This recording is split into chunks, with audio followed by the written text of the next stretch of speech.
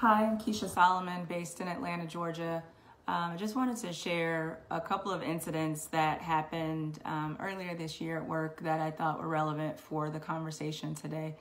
Um, the first was an incident where I was at lunch with a fellow Atlanta based employee, an African American man, um, who was sharing some of his guidance or feedback or advice as someone who's been in the company a little bit longer.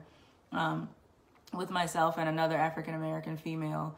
Um, and his analogy that he used was as a tactic for surviving or thriving or really making his way as a black man in the company was this analogy of um, how sometimes tall people will walk a little slunched over or not quite fully upright um, because they don't want to draw attention to themselves or make people feel intimidated or threatened um, by by the reality of, of, of them being tall.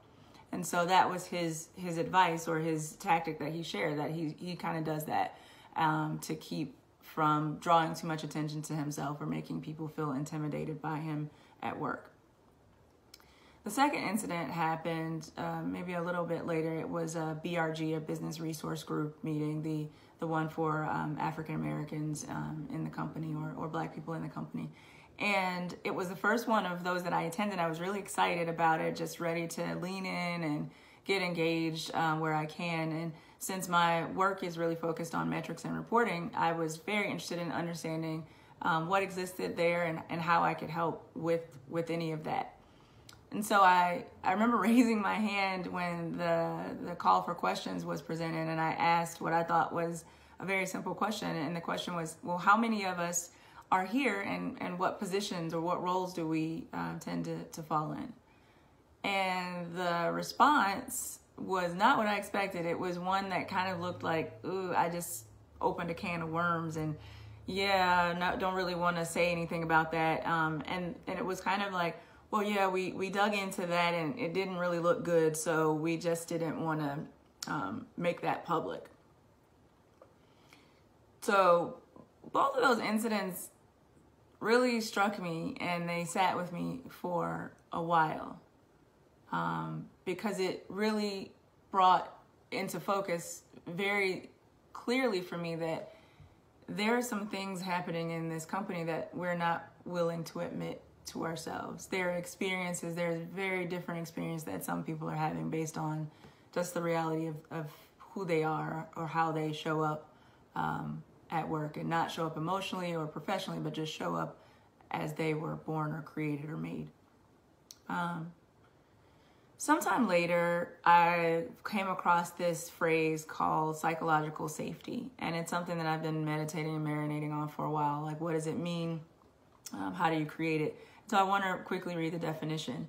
Psychological safety is being able to show and employ oneself without fear of negative consequence to self image, status, or career. I felt like this was something super relevant, especially getting the given the two incidents that happened.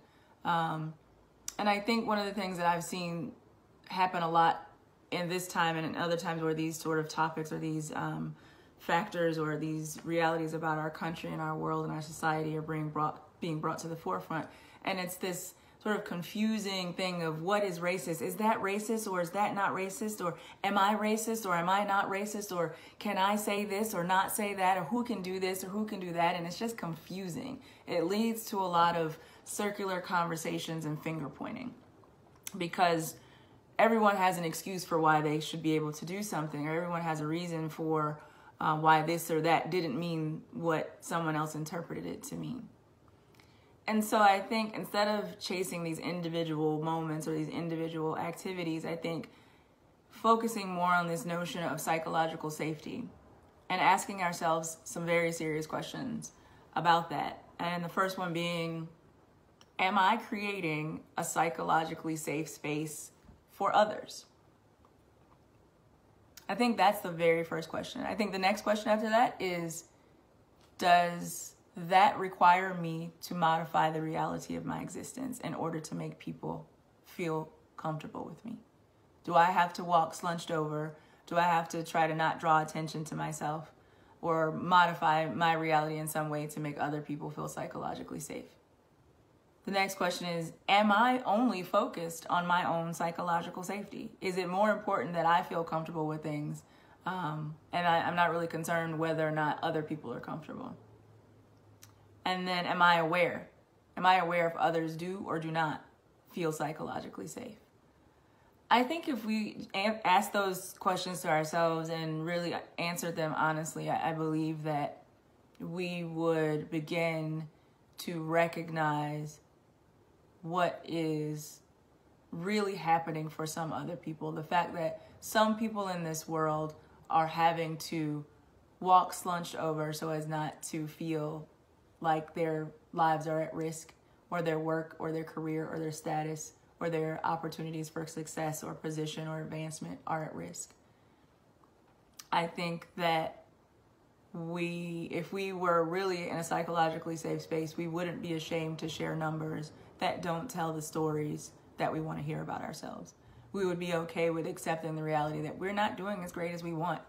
Um, and we could make plans out in the open on how we're going to address that and what that means and what value that has to not only the people at the company but the company as a business, um, as a as a as a member, as a as a corporate citizen of this um, this country and this world. Um, I I think that if we really start to focus more on those things, then we can create that culture that we say we want to have. Um, but until we do that, then we'll just be focusing on minor incidents or each new incident that's come up and not recognizing the greater change that needs to happen. So, thanks for allowing me to share my voice.